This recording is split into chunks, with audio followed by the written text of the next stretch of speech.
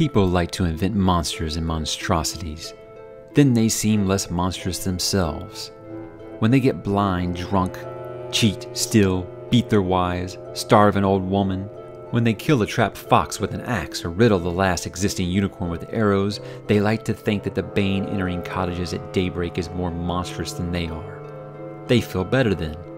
They find it easier to live.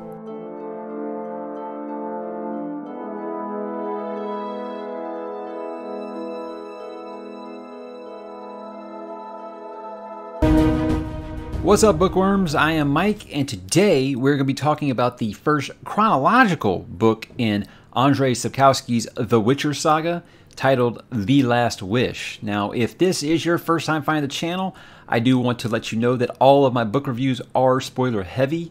Uh, I do a Let's Discuss segment once in a while. Those are spoiler free, but all of my book, my book reviews, I'll usually kind of run down the plot, go over the key points, or just basically just all the best points. I'm going to go over them. So if you have not read The Last Wish, uh, make sure that you uh, bookmark this video and come back after you do so because uh, spoiler, I'm going to you're going to want to.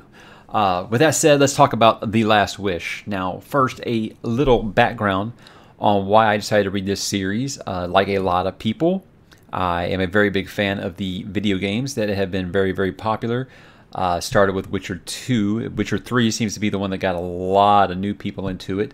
Uh, honestly, I had Witcher 2 for like a year, and when I saw the E3 trailer for Witcher 3, I was like, hey, I guess I should go play 2 because this looks awesome. And if I play that, I'm never going to go back and play 2. So I'm not one of those that's like, oh, yeah, I was a fan of this series long before because I'm going to be honest with you, I didn't learn until about two years ago that those games were based on these books and not the other way around. See, I thought it was kind of like the Halo books where they were just kind of capitalizing off of the success of the game. So I I am no by no means standing here telling you, yeah, I've been a big fan of these books forever. You know, I, am not doing like a like I did with Game of Thrones for years and told everybody, hey, yeah, and I, I read this series long before you guys had even heard of it.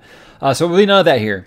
Uh, but when it was announced that they would be making a series of this on Netflix, I went ahead and I got all the books on, on digital versions because the hard I only I only buy hardcovers and the hardcovers in America are quite difficult to find or very very expensive. So I said, you know what, I'm going to settle for the digital version on these. And uh, the whole reason uh, I want to read this before it comes out on Netflix is because I want to be able to gripe. Hello, I mean, that's the whole point of this. Uh, but uh, like my Wheel of Time plan, I, I just kind of I want to stay ahead of the TV series. I'm not looking to speed read the series or anything like that. Like uh, with Wheel of Time, I, I originally said I want to do like you know like the rumor was that they were going to be doing two books per season. So I was like, okay, I just want to stay ahead of the show, so I'm just going to read the first two. End up reading six. So uh, just like with this, I'm sure I'll end up reading you know three or four of them before the series actually drops, which is rumored to be December at this point. I just want to see a trailer at this point. You know, I, I want to see something besides that horrible makeup test they had with Henry Cavill, where he had the big poofy wig, and that's that'll be that'll be a let's discuss on the on the Witcher TV series, and, and it'll be much much better after I finish reading these books. But uh, you know, unlike most folks, you know, who who who don't like to watch the movie after reading the book because like, oh, it'll never compare to the, the, the movie that was in my mind's eye. Uh, I I kind of always do it this way. Uh, as you can see behind me, I'm a very, very big Stephen King fan, and I'm used to adaptations of his work always being disappointing. so, uh, so I almost always read the book before I see a movie or a TV adaptation of anything. Now, it's just the way I am because you know, you know, you certain things that you're like, oh, I want to see if they saw what I saw when I read this. I want to see if the, if the filmmakers can do that. And most times it doesn't happen, but you know, there are some cases where it works out really well. Uh, so yeah, I always always read the book before seeing anything that's adapted. So with that said, though, I did go into this book by wiping everything that I know of the storylines from the video games out of my mind. Uh, because I know most of those plot, most of the plot lines in those games are based off of stuff that are in these books. Uh, I might be wrong on that. I'm not sure. Some people have said that they take place after the books. I'm not really sure. All I know is that the games aren't canon to this, these books apparently. So I was like, okay, I'm scrapping everything except like character names and, and cities. Uh, I'm, I'm wiping that out of my memory. I don't want to create like an alternate timeline here. You know, this is like an Earth 2 situation. So uh, besides hearing like the voice actor uh, that voices Geralt, uh, besides hearing that in my head, uh, I, I, went into this with the idea that this is just going to be something completely new. And hey, cool! I got a good starting point with I've already have a primer on the on the main characters, what a Witcher does, and, and that's about it. So uh, let's go ahead and talk about the Last Wish. This is going to be a little shorter than most of my book reviews because this is a very short book. Uh, the last it wasn't this this wasn't published first in the series, but for new readers, it is highly recommended they start here. I went to the Witcher Reddit.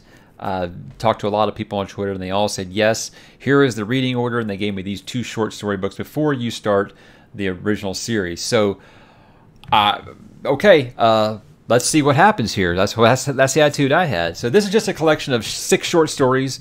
Uh, each one has kind of an interlude to kind of introduce readers to this world and some of Geralt's friends and allies. And, and I have to say, someone who doesn't really care for the whole Monster of the Week format. You know, I spent years being a Star Trek, the original series fan, uh, years being an X Files fan, uh, Angel, Buffy, Supernatural. I, I don't need Monster of the Week stuff. Just give me like a continuous storyline.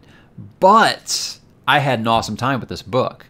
Uh, if I if I didn't already know characters like Geralt and Yennefer and, and Dandelion and, and King Foltest, uh, you know, I don't I don't know what I would have thought. I, I, felt like this was a prequel story to the games that I loved because you know it was uh, mostly original stuff, so I was all good with it. Uh, I would like to know, you know, how I would have felt about this if I had never felt the games. I would have had as good of a time. You know, I mean, I guess we'll never know. It's a little too late for that because uh, I can't really erase those from my memory because um, Witcher 3, game of the generation, I stand by that. So I, I know I said I wiped the game's plots from my memory before starting these. and when you know it right off the bat, the first story, uh, simply titled "The Witcher," uh, it, it, it's based. It's what one of the the quests, my favorite quests in Witcher Three, is based on. You guys have played it, probably know it as the Bloody Baron quest line. But you know, instead of the Baron, it's King Foltest, and basically Geralt has to try and cure uh, Foltest's incestual daughter, uh, who was born a Striga uh, which is just like a crazy little hell beast that comes out at night and kills people. Uh, you know, the king, he wants her cured. It's his daughter, you know, not killed. Uh, Geralt says he'll try, but he's like, look, I'll try, but I'm not going to like not defend myself if, if need be. And, and, and you know, short story short, he, he, he needs to. Uh, he's able to cure, you know, about before he gets a really, really nasty neck wound. And this is what really kind of leads to these interludes, which are called Voice of Reason, each one of them uh, between these short stories where he's recovering and he's reminiscing about these uh, short adventures or doing a hey remember when this happened? kind of conversation with dandelion or, or if i'm saying these names wrong guys i'm just going off the games. If that's wrong i'm, I'm sorry. Uh, i believe Nenneke was in witcher 2 uh, i'm not going to go through each individual story here like i usually would in a book review just because there's just too much. Um, I'll touch on the stuff that I really liked. Uh, and Grain of Truth we know we get to see Geralt. Uh, he fights a Bruxa, uh, really cool character from the game. Again, this is, I, I, know all these characters from the games. I, I, it would be impossible for me not to reference the games. I'm sorry. I know I said I was wiping that clean. I keep going back to the games. Uh, but I, know what some of these monsters already are. I know what a Striga is, or I know what a Bruxa is. You know, uh, but he, when he uh, he fights and kills this Bruxa, and which is basically like a vampire, uh, this in turn cures Nivellen, this this man who has like been turned into a, a, some kind of a beast, which Geralt determines is not a monster, so he decides not to kill him. But uh, you know, this man was questioning before he was cured if he even wanted to be cured because you know before he was he was weak, he was just a normal man. You know, he had bad teeth and all that. Now he's like super strong and has strong teeth, and women actually are like intrigued by him and stuff, and they never would have given him a second look. So you know, each one of these stories kind of feels like it has something like that, where there's like a moral point to the story. It's a nice little touch, uh, especially in Lesser Evil. Uh, this one, uh, I know off of the casting for the Netflix series, some of the characters have been casted, that this story is getting adapted in that first season of Witcher. Uh, so, I mean, Renfri, Shrike, whatever you want to call her, Renfri, such a cool character, man. I hate to see her go so soon. Uh, seemed like her and Geralt really had this connection and an understanding.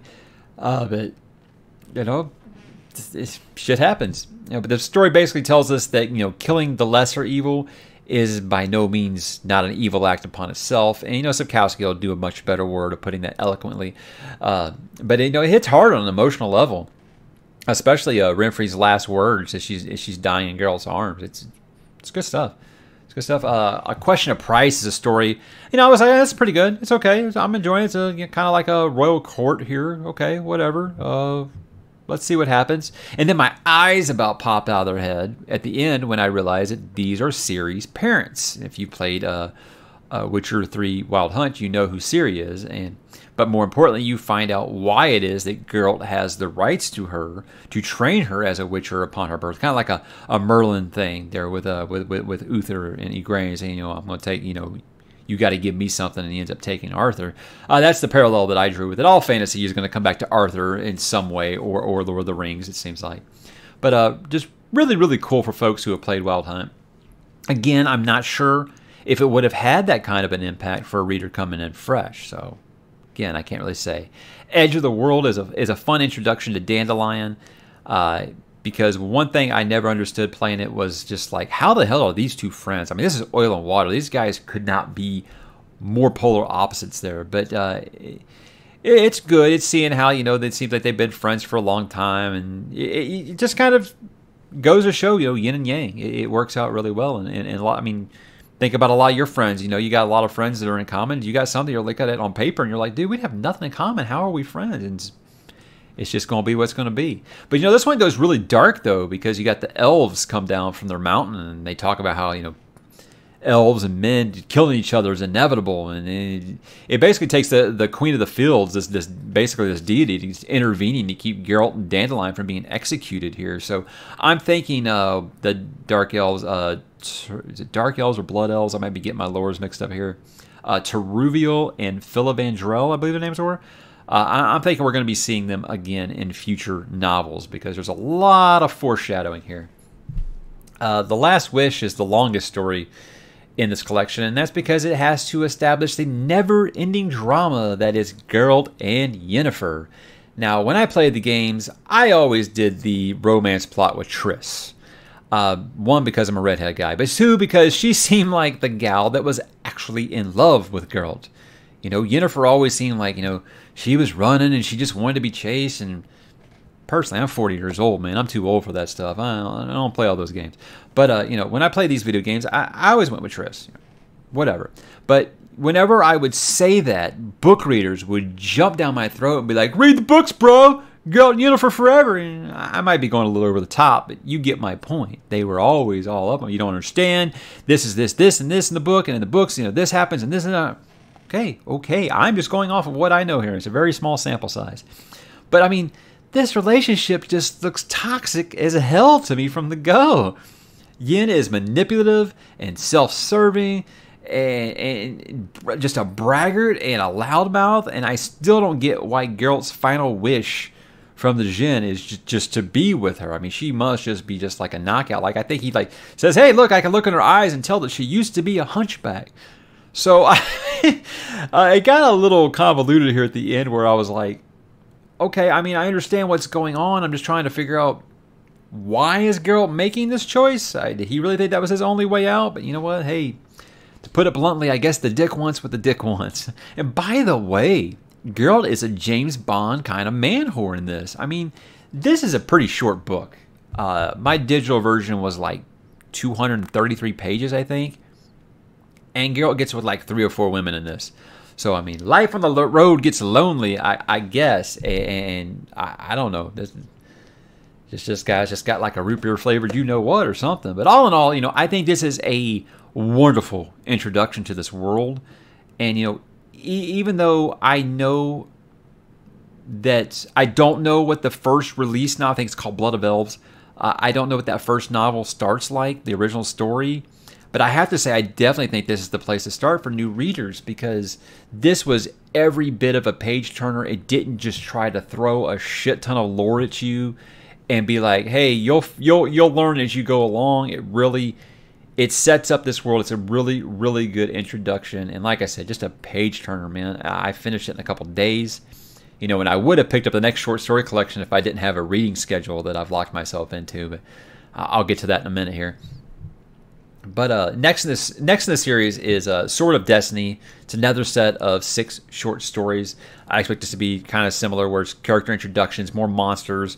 Maybe we'll see some more about uh, Kaer Morhen, see how, how the Witchers are, are, are, trained and whatnot, and uh, maybe touch on some of that fancy gear and the oils and all that kind of stuff. You know, concoctions all that cool stuff that, that, that we love from the game that I'm sure that these guys that made these games were very clearly big fans of these books. So everything that's in that game, I'm pretty sure they got from somewhere in these books. Uh, so if they are anything near as fast paced and fun as Last Wish was, I am in for a treat because this was really, really good, guys. I really highly recommend checking out. I'd like to know what you think if you haven't played the games and you read this. I'd like to know your opinion on it. If, if it if it is as fun and fast paced for you as it was for me. But uh, like I said, I am trying to stick to a schedule right now. You know, I, I felt like I was really locking myself down with so many Wheel of Time books, and not that they weren't good, but they're, you know, they're, they're tomes, you know, and that, that that felt like that was really just locking me down. If I'm trying to keep this, you know, one video per week kind of pace here, uh, I people have asked me how do you, how do you read so much? Look, I, I do an hour transit to work each way and that's that's an hour reading time each way. I had an hour lunch. So there's three hours reading time plus I usually read before bed. So you know I'm reading almost four hours per day. So obviously I'm I'm able to knock down these books pretty quick. Uh, but you know with Wheel of Time I, I, really really just felt like I was locking myself down, and uh, so I decided I was gonna you know, branch out, stop tying myself down to one series at a time. I'm going to read a lot of book ones, and then when I'm done with those, go to book twos and kind of read out some series that way. Uh, try to keep things fresh. Uh, problem is now I'm reading the books faster than I can make a video for them because you know all that travel time for work and stuff. The last thing you feel like doing when you come home is, hey, let me uh, let me let me put together like an hour video here. Uh, not an hour. I'm exaggerating. Don't don't listen. I'm rambling here. But uh, I'm reading books now, like I said, faster because a lot of them are much shorter than Wheel of Time uh, or a First Law book. Uh, I've already finished book one in The Demon Cycle by Peter V. Brett. Uh, it's a very, very interesting series. Uh, so far, I've gotten a lot of polarizing comments about me reading it, though, about how people were not satisfied with it going forward. But, you know, different strokes for different folks. I, I, read book one of Red Rising by Pierce Brown, and I'm about halfway right now through book one of Brent Weeks' very highly recommended uh, Lightbringer saga, uh, The Black Prism. Very, very good. About halfway through. That's it's really good. Um, I was waiting to start that one until uh, the series was going to be finished, and the last book's coming out in October. So uh, I already like it better than I like the Night Angel books. I gotta do a review for Night Angel someday and tell people why I didn't like that. Because when I tell people I didn't like those books by Brent Weeks, they just kind of look at me like I'm nuts. So um, we'll see. So uh, look for those videos soon as I try to catch up here. Uh, the best way to do that is to help me out in hitting that subscribe button. The channel is growing really rapidly, you know, and I'm, I'm we're slowly climbing towards that goal of 500 subscribers. Uh, may not seem like much to anybody else, but when you know you do this completely by yourself and you're just a dude with a microphone, you don't do any fancy graphics or music or not funny or any of that stuff. Uh, that's that's quite an achievement in my opinion. I felt like that was an attainable goal, 500 subscribers. Uh, the reason I have that goal is because you really cannot beat YouTube's shitty algorithm that will not allow you know my videos to pop up in a basic search unless you have at least 500 subscribers. So, uh, like for example, you could type in uh, the Witcher, The Last Witch re- re- review, and my review would not come up, even if you typed in the exact same title. So if you could help me out there, please subscribe. Check out the other content on the channel. I do a Let's, Let's Discuss segment every single week, which talks about an author or book series and why you should read it, or book review every single week. And we do a live show each, each week where we talk about everything relevant that happened uh, in geek pop culture over the course of the week. So please hit subscribe, share these with your friends, and I will talk to you guys soon.